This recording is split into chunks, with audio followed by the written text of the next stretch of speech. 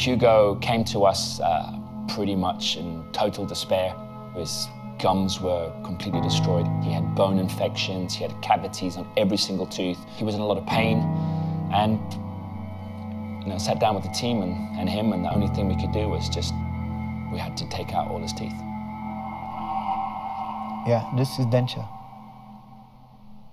It's awkward. It's not part of you. It's annoying because you fill your mouth full, you know, without having anything inside. Removing somebody's teeth is never an easy decision. It's um, almost like mutilation. It's like an amputation. It wasn't an easy decision. Yeah, it was very difficult for me and um, my family.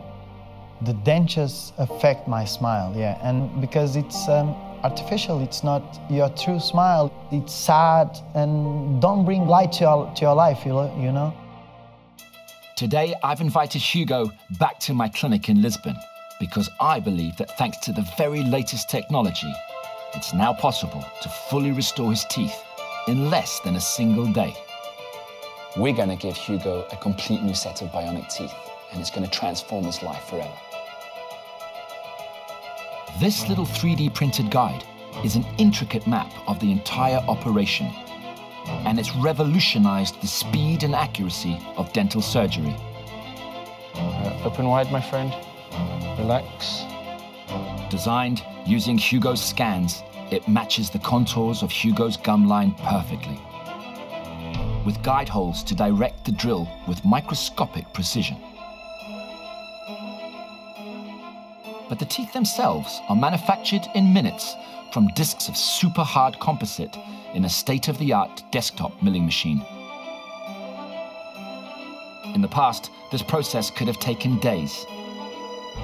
But today, thanks to this incredible new technology and advanced materials, it has taken just four hours to manufacture and place 12 brand new bionic teeth.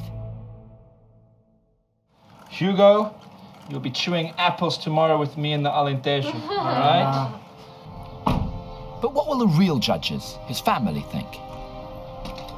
Olá! Então. How do you feel today?